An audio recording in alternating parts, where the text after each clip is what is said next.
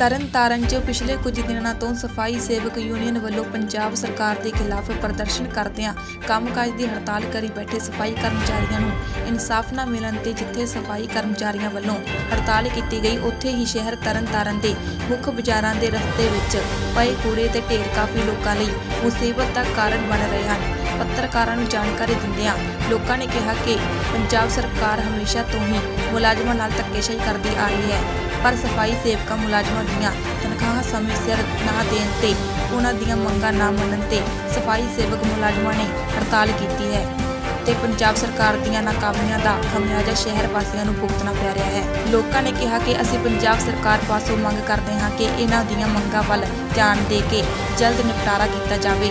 ਤਾਂ ਜੋ ਸ਼ਹਿਰ 'ਚ ਸਫ਼ਾਈ ਹੋ ਸਕੇ।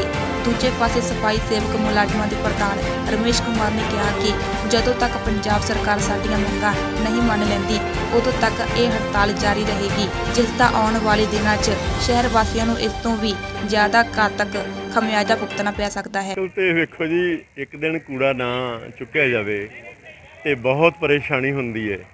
ਇਹ ਜਿਹੜੀ ਹੜਤਾਲ ਹੈ, ਬੜੇ ਲੰਬੇ ਸਮੇਂ ਤੋਂ ਚੱਲ ਰਹੀ ਹੈ। ਇੱਥੇ ਮਜਬੂਰਨ ਲੋਕਾਂ ਨੂੰ ਆਪਣੇ ਘਰਾਂ ਤੋਂ ਕੂੜਾ ਕਿਤੇ ਨਾ ਕਿਤੇ ਸੁੱਟਣਾ ਪੈਂਦਾ ਹੈ। ਤੇ ਇਹਦਾ ਕਾਰਨ ਇਹ ਵੀ ਹੈ ਕਿ ਮੈਂ ਸਰਕਾਰ ਨੂੰ ਇਹ ਕਹੂੰਗਾ ਕਿ ਕੁੰਭ ਕਰਨ ਦੀ ਨੀਂਦ ਸੁੱਤੇ ਜੇ, ਉੱਠ ਪਵੋ ਤੇ ਮੁਲਾਜ਼ਮਾਂ ਦੀਆਂ ਜਿਹੜੀਆਂ ਬੰਦੀਆਂ ਵਾ, ਉਹਨਾਂ ਦੀਆਂ ਤਨਖਾਹਾਂ ਜੋ ਉਹਨਾਂ ਦਾ ਰਾਈਟ ਬੰਦਾ ਉਹਨਾਂ ਨੂੰ ਦੇਵੋ ਤੇ ਉਹ ਆਪਣਾ ਕੰਮ ਕਰਨ। ਉਹ ਉਹ ਆਪਣਾ, ਆਪਣੇ ਬੱਚਿਆਂ ਦਾ ਪਾਲਣ ਪੋਸ਼ਣ ਕਰਨ, ਉਹ ਵਿਚਾਰੇ ਬੜੇ ਮਜਬੂਰ ਆ। ਉਹਨਾਂ, ਜਿਨ੍ਹਾਂ ਦੇ ਚੁੱਲ੍ਹੇ ਹੀ ਬੰਦ ਤੁਸੀਂ ਕਰਾਤੇ ਆ, ਜਿਨ੍ਹਾਂ ਦੀਆਂ ਤੁਸੀਂ ਰੋਟੀ ਰੋਟੀ ਪਾਣੀ ਬੰਦ ਕਰਾਤਾ, ਉਹ ਕਿਤਨਾ ਗੁਜ਼ਾਰਾ ਕਰਨਗੇ ਦੱਸੋ? ਇੱਕ ਬੰਨੇ 2 ਵਜੇ ਤੋਂ ਬਾਅਦ ਕੋਈ ਦੁਕਾਨ ਨਹੀਂ ਖੁੱਲਣ ਦਿੰਦੇ। ਸ਼ਨੀਚਰਵਾਰ ਐਤਵਾਰ ਉਹ ਦੁਕਾਨਾਂ ਬੰਦ ਰਹਿੰਦੀਆਂ। ਤੇ ਹੁਣੇ ਆਪਣਾ ਇਹ ਇੱਥੇ ਗੁਰੂ ਅਰਜਨ ਦੇਵ ਜੀ ਦਾ ਮਹਾਨ ਦਰਬਾਰ ਹੈ। ਮਹਾਨ ਰਸਤਾ ਬਹੁਤ ਵਧੀਆ ਰਸਤਾ ਬਣਿਆ ਜਿੱਥੇ ਕੂੜੇ ਦੇ ਥਾਂ ਥਾਂ ਤੇ ਢੇਰ ਲੱਗੇ ਆ। ਕੀ ਡੀਸੀ ਸਾਹਿਬ ਤੇ ਹੋਰ ਜਿਹੜੇ ਸ਼ਹਿਰ ਦੇ ਪ੍ਰਸ਼ਾਸਨ ਹੈ ਉਹਨਾਂ ਨੂੰ ਪਤਾ ਨਹੀਂ ਲੱਗ ਰਿਹਾ ਕਿ ਅਸੀਂ ਇੱਥੇ ਆਪਣਾ ਇਹਨਾਂ ਨਾਲ ਕਮਿਟਮੈਂਟ ਕਰੀਏ ਇਹਨਾਂ ਨਾਲ ਆਪਾਂ ਤਾਲਮੇਲ ਕਰੀਏ ਜਿਹੜੇ ਸਫ਼ਾਈ ਸੇਵਕ ਆ ਤੇ ਉਹਨਾਂ ਨੂੰ ਆਪਾਂ ਆਪਣੇ ਭਰੋਸੇ 'ਚ ਲੈ ਕੇ ਤੇ ਉਹਨਾਂ ਨੂੰ ਹੜਤਾਲ ਉਹਨਾਂ ਦੀ ਖਤਮ ਕਰਾ ਕੇ ਤੇ ਉਹਨਾਂ ਦੇ ਬਣਦੇ ਹੱਕ ਦੇਈਏ। ਇੱਕ ਪਾਸੇ ਕਰੋਨਾ ਪਿਆ ਪਾਸੇ ਹੋਰ ਬਿਮਾਰੀ ਫੈਲਣ ਦਾ ਖਤਰਾ ਨਹੀਂ ਲੋਕ ਲੱਗੇ ਪਰੇਸ਼ਾਨ ਹੋਏ ਪਏ। ਵੇਖੋ ਜੀ ਕਰੋਨਾ ਦਾ ਤੇ ਨਾਂ ਹੀ ਲੈ ਲਈਏ ਨਾ ਤੇ ਲੋਕ ਡਰ ਜਾਂਦੇ ਆ। ਤੇ ਆ ਜਿਹੜੀਆਂ ਨਵੀਆਂ ਬਿਮਾਰੀਆਂ ਨੂੰ ਸੱਦਾ ਮਿਲ ਰਿਹਾ ਹੈ ਇਹਦੇ ਵਿੱਚ ਆਪਣਾ ਬਹੁਤ ਮਲੇਰੀਆ ਫੈਲੂਗਾ ਹੋਰ ਵਾਇਰਸ ਆਉਣਗੇ ਤੇ ਇਹਦੇ ਨਾਲ ਤੇ ਬਿਮਾਰੀਆਂ ਜਿਹੜੀਆਂ ਅੱਗੇ ਅੱਗੇ ਬਹੁਤ ਜ਼ਿਆਦੀਆਂ ਹੋਰ ਵੀ ਲੋਕਾਂ ਨੂੰ ਮੌਤ ਦੇ ਮੂੰਹ ਜਾਣਾ ਪਊਗਾ। ਸਰਕਾਰ ਦੀ ਨਹੀਂ ਢਿੱਲ ਮੱਠ ਪ੍ਰਸ਼ਾਸਨ ਦੀ ਢਿੱਲ ਮੱਠ ਕਿਉਂ? ਇਹ ਤੇ ਪ੍ਰਸ਼ਾਸਨ ਖੁਦ ਦੱਸੇ ਨਾ ਕਿ ਕਿਉਂ ਢਿੱਲ ਮੱਠ ਹੈ। ਸਰਕਾਰ ਖੁਦ ਦੱਸੇ ਕਿਉਂ ਢਿੱਲ ਮੱਠ ਹੈ। ਇਹ ਚ ਪਬਲਿਕ ਕੀ ਦੱਸ ਸਕਦੀ ਹੈ? ਇਹ ਨੀਅਰ ਅਬਾਊਟ ਤਕਰੀਬਨ 10 ਦਿਨ ਤੋਂ ਉੱਤੇ ਹੋ ਗਿਆ ਕੂੜਾ ਨਹੀਂ ਚੁੱਕਿਆ ਜਾ ਰਿਹਾ ਸ਼ਹਿਰ ਦੇ ਵਿੱਚੋਂ। ਪਰ ਸ਼ਹਿਰ ਚ ਗਲੀਆਂ ਪੂਰੇ ਮੱਲੇ ਦੇ ਪਏ ਇਹ ਤੁਸੀਂ ਆਪਣੇ ਮੀਡੀਆ ਵਾਲੇ ਤੁਸੀਂ ਖੁਦ ਕਵਰ ਕਰੋ ਵੇਖੋ ਜਾ ਕੇ ਸ਼ਹਿਰ ਦੇ ਵਿੱਚ ਥਾਂ ਥਾਂ ਦੇ ਢੇਰ ਲੱਗੇ ਤੁਹਾਨੂੰ ਆਪੇ ਪਤਾ ਲੱਗ ਜਾਊਗਾ। ਤਾਂ ਆਪਾਂ ਹਰ ਗਲੀ ਦੇ ਹਰ ਬਾਜ਼ਾਰ ਦੇ ਵਿੱਚ ਹੈ। ਮੇਰੇ ਕਹਿਣ ਤੇ ਤੇ ਗੱਲ ਬਣਨੀ ਨਹੀਂ ਕਿ ਸ਼ਹਿਰ ਦੇ ਵਿੱਚ ਲੱਗੀ ਆ। ਤੁਸੀਂ ਆਪ ਸ਼ਹਿਰ ਤੁਸੀਂ ਬਹੁਤ ਸੁਚੱਜੇ ਢੰਗ ਨਾਲ ਕਵਰਿੰਗ ਕਰ ਰਹੇ ਜੇ। ਮੈਂ ਤੁਹਾਡਾ ਵੀ ਬਹੁਤ ਧੰਨਵਾਦੀ ਹਾਂ। ਸਭ ਤੋਂ ਪਹਿਲਾਂ ਜੀ ਇਹ ਜਿਹੜੇ ਕੂੜੇ ਦੇ ਢੇਰ ਲੱਗੇ ਇਹਦੇ ਬਾਰੇ ਜਿਹੜਾ ਵਾ ਇਹ ਬੜੀ ਦੁਖਦਾਈ ਘਟਨਾ ਵਾ। ਇਹ ਰਸਤਾ ਜਿਹੜਾ ਵਾ, ਇਹ ਦਰਬਾਰ ਸਾਹਿਬ ਤਰਨਤਾਰਨ ਮੇਨ ਗੁਰਦੁਆਰੇ ਸਾਹਿਬ ਨੂੰ ਜਾਂਦਾ ਵਾ। ਕੱਲੀ ਇਸ ਰਸਤੇ ਦੀ ਗੱਲ ਨਹੀਂ ਆ।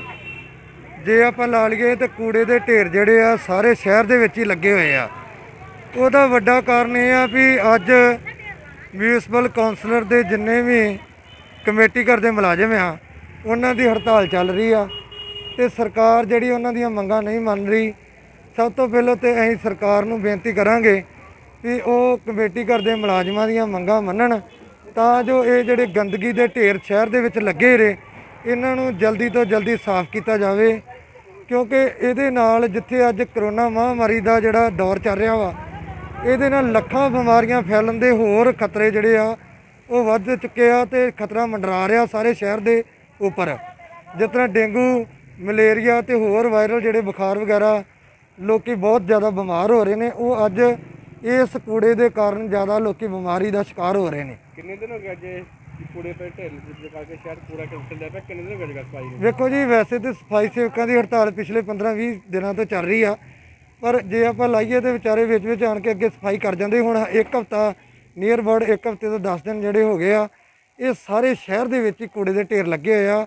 ਇਹ ਬੜੀ ਮਤਭਾਗੀ ਘਟਨਾ ਵਾ। ਸੋ ਸਰਕਾਰ ਨੂੰ ਅਸੀਂ ਬੇਨਤੀ ਕਰਦੇ ਹਾਂ ਕਿ ਸਫ਼ਾਈ ਸੇਵਕਾਂ ਦੀਆਂ ਮੰਗਾਂ ਨੂੰ ਮੰਨਦੇ ਹੋਏ ਇਸ ਕੂੜੇ ਨੂੰ ਜਲਦੀ ਤੋਂ ਜਲਦੀ ਜਿਹੜਾ ਸਫ਼ਾਈ, ਇਹਦੇ ਸਫ਼ਾਈ ਕਰਾਈ ਜਾਵੇ। ਜਿਹੜੀ ਆਪਣਾ 13 ਮਈ ਤੋਂ ਪਹਿਲਾਂ ਪਹਿਲਾਂ ਅਸੀਂ ਪਹਿਲਾਂ ਸਰਕਾਰ ਨੂੰ ਸੂਚਿਤ ਕੀਤਾ ਸੀਗਾ ਕਿ ਸਾਡੀ ਜਿਹੜੀਆਂ ਬ- ਬੰਦੀਆਂ ਬੜੇ ਚਿਰ ਤੋਂ ਚੱਲਦੀਆਂ ਆ ਰਹੀਆਂ ਮੰਗਾਂ ਤੇ ਉਹਨੂੰ ਜਿਹੜਾ ਵਾ ਹੱਲ ਕੀਤਾ ਜਾਵੇ ਮੰਗਾਂ ਨੂੰ। ਇਹ ਨੋਟਿਸ ਜਿਹੜਾ ਪਹਿਲਾਂ ਦਿੱਤਾ ਗਿਆ ਸੀਗਾ। ਸਰਕਾਰ ਨੂੰ ਪਹਿਲਾਂ ਨੋਟਿਸ ਕੀਤਾ ਗਿਆ ਵਾ ਤੇ ਉਸ ਤੋਂ ਬਾਅਦ ਫਿਰ ਇਹ 13 ਮਈ ਤੋਂ ਬਾਅਦ ਵੀ ਹੜਤਾਲ ਜਾਰੂ ਹੋ ਗਈ, ਜਾਰੀ ਹੋ ਗਈ ਆ। ਜਿਹੜੀ ਜਾਰੀ ਅੱਜ ਹੜਤਾਲ 13 ਮਈ ਦੀ, ਉਹ ਅੱਜ ਜਿਹੜੀ ਆ 11ਵੇਂ ਦਿਨ 'ਚ ਪਹੁੰਚ ਗਈ ਆ। ਸਰਕਾਰ ਨੂੰ ਸਰਕਾਰ ਨੂੰ ਇਸ ਗੱਲ ਦਾ ਸਾਰੇ ਦਾ ਪਤਾ ਵਾ। ਸਰਕਾਰ ਚੰਡੀਗੜ੍ਹ ਤੱਕ ਪਤਾ ਵਾ। ਉੱਥੇ ਮੀਟਿੰਗ ਵੀ ਹੋਈ ਆ, ਸੱਦੀ ਵੀ ਆ ਉਹਨਾਂ ਨੇ। ਉਹ ਛੱਡ ਕੇ ਮੀਟਿੰਗ ਉਹਨਾਂ ਨੇ ਇਹ ਗੱਲ ਕਰਾਈ ਆ ਵੀ ਇਹ ਮੀਟਿੰਗ ਜਿਹੜੀ ਆ ਮੁੜ ਕੇ ਫਿਰ ਬ੍ਰਹਮਿੰਦਰਾ ਜੀ ਨਾਲ ਤੁਹਾਡੇ ਮ- ਮੰਤਰੀ ਕੈਬਨਿਟ ਨਾਲ ਕਰਾਈ ਜਾਊਗੀ ਤੇ 4 ਦਿਨ ਦੇ ਬਾਅਦ ਤੇ ਫਿਰ ਤੁਹਾਡੀ ਜਿਹੜੀਆਂ ਮੰਗਾਂ ਜਿਹੜੀਆਂ ਉਹਨਾਂ ਨੂੰ ਦੱਸੀਆਂ ਜਾਣਗੀਆਂ ਜਾਂ ਅ, ਮੰਨੀਆਂ ਜਾਣਗੀਆਂ ਜਾਂ ਕਿੱਦਾਂ ਨਹੀਂ ਇੱਕ ਹਫ਼ਤਾ ਲਗਾਤਾਰ ਹੜਤਾਲ ਜਾਰੀ ਹੈ ਤੇ ਅੰਦਰ ਕਿੰਨਾ ਸਮਾਂ ਤੱਕ ਚਾਹੀਦਾ ਕਿ ਇੱਕ, ਅਹ, ਕੂੜਾ ਕਰਕੇ ਲੋਕਾਂ ਨੂੰ ਪਰੇਸ਼ਾਨੀ ਦਾ ਸਾਹਮਣਾ ਕਰਨਾ ਪੈਂਦਾ ਹਾਲਾਂਕਿ ਪ੍ਰਦੇਸ਼ ਸਰਕਾਰ ਦਾ ਕੋਈ ਨੁਮਾਇੰਦਾ ਤੁਹਾਡੇ ਤੱਕ ਪਹੁੰਚਿਆ? ਅਜੇ ਸਾਨੂੰ ਤਾਂ ਕੋਈ ਨੁਮਾਇੰਦਾ ਨਹੀਂ ਮਿਲਿਆ ਨਾ ਹੀ ਕੋਈ ਸਾਨੂੰ ਕੋਈ ਮਤਲਬ ਕਿ ਅਜੇ ਤੱਕ ਸੁਨੇਹਾ ਸਾਡਾ ਆਇਆ ਇੱਕੇ ਵਾਰੀ ਸੁਨੇਹਾ ਆਇਆ ਜਦੋਂ ਮੀਟਿੰਗ ਹੋਈ ਹੈ ਚੰਡੀਗੜ੍ਹ ਉਹਦੇ ਬਾਅਦ ਕੋਈ ਨਹੀਂ ਹੋਈ ਅਜੇ ਤੱਕ। ਉਹਨਾਂ ਕਹੇ ਬੁਲਾਵਾਂਗੇ ਲੇਕਿਨ ਬੁਲਾਉਂਦੇ ਨਹੀਂ ਜਦ ਤੱਕ ਮੰਗਾਂ ਨਹੀਂ ਮੰਨੀਆਂ ਜਾਂਦੀਆਂ ਹੜਤਾਲ ਜਿਹੜੀ ਹੈ ਜੋ ਉਹਨਾਂ ਜਗ ਤੱਕ ਜਾਰੀ ਰਹਿਣੀ ਹੈ। ਭਾਰਤ ਵਿੱਚ ਪਹਿਲੀ ਵਾਰ ਸ਼ੁੱਧ ਜਲ ਲੰਗਰ ਸੇਵਾ ਸ਼ੁਰੂ। Pure water healthy life NGO Australia ਵੱਲੋਂ ਭਾਰਤ ਦੇ ਪਿੰਡਾਂ ਵਿੱਚ ਹਰ ਵਰਗ ਨੂੰ ਪੀਣ ਵਾਲਾ ਸ਼ੁੱਧ ਪਾਣੀ ਮੁਹੱਈਆ ਕਰਵਾਉਣ ਦੀ ਮੁਹਿੰਮ ਪੰਜਾਬ ਦੇ ਜ਼ਿਲ੍ਹਾ ਸ਼ਹੀਦ ਭਗਤ ਸਿੰਘ ਨਗਰ ਦੇ ਪਿੰਡ ਪਰੋਮਜਾਰਾ ਰਾਣੂਆ ਤੋਂ ਸ਼ੁਰੂ। ਐਨਆਰਆਈ ਤੇ ਦਾਨੀ ਸੱਜਣਾ ਨੂੰ ਅਪੀਲ ਕਿ ਆਓ ਦੇਸ਼ ਵਾਸੀਆਂ ਨੂੰ ਪੀਣ ਵਾਲੇ ਪਾਣੀ ਤੋਂ ਲੱਗਣ ਵਾਲੀਆਂ 80% ਬਿਮਾਰੀਆਂ ਜਿਵੇਂ ਟਾਈਫਾਈਡ ਪੇਟ ਗੈਸ, ਪੀਲੀਆ, ਜੋੜਾਂ ਦਾ ਦਰਦ ਕਬਜ਼ ਬੁਖਾਰ ਤੇ ਕੈਂਸਰ ਤੋਂ ਬਚਾਈਏ। ਸਲਾਹ ਤੇ ਸਹਿਯੋਗ ਕਰਨ ਲਈ ਸੰਪਰਕ ਨੰਬਰ ਪਰਮਜੀਤ ਸਿੰਘ ਰਾਣਾ, ਪੰਜਾਬ 7009 807083 ਅਤੇ ਰਘੁਵੀਰ ਸਿੰਘ ਆਸਟ੍ਰੇਲੀਆ 042 67 463